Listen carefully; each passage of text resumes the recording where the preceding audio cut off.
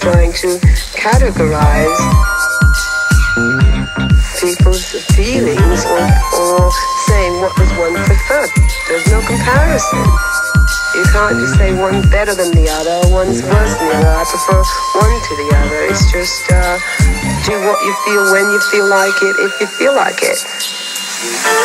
That may be, be to some people quite shocking. What's shocking?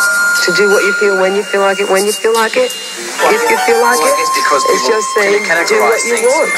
Do what you feel when you feel like it. Do what you feel when you feel like it. Do what you feel when you feel like it. Do what you feel when you feel like it. Do what you feel when you feel like it. Do what you feel when you feel like do what do what you feel when you feel like it. Do what do what you feel feel when you do what you feel when you feel like it. Do what you feel when you feel like it. Do what you feel when you feel like it. Do what you feel when you feel like it. Do what you feel when you feel like it. Do what you feel when you feel like it. do what do what you feel when you feel like it. Do what do what you feel feel when you you feel like it.